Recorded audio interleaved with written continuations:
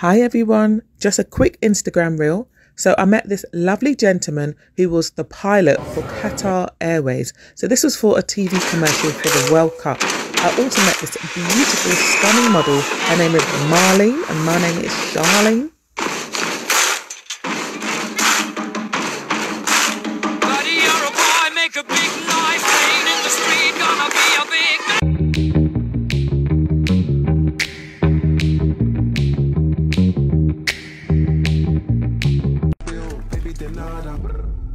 Every day's my birthday, I need a piece of cake. Mama see her looking like a figure eight. I see the hook, I still bit the bait.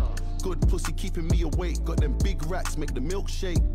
And I don't discriminate, but if she's a snack, that's a dinner date.